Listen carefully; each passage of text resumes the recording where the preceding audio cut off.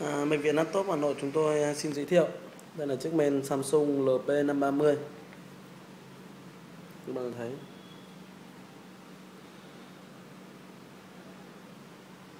Hai cổng USB 3.0 là dòng Ultra mới nhất của Samsung. Đấy là chip là linh kiện à, đây là con Vega rồi.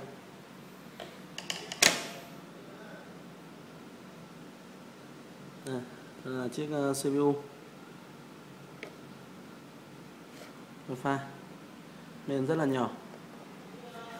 Đấy, với những các bạn không may mà men uh, à, bot bị lỗi chúng tôi sẽ tiến hành đổi men thay thế cho các bạn với giá là 2 triệu 850 nghìn đồng.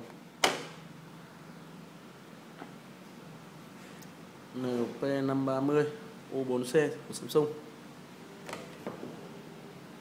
Rõ là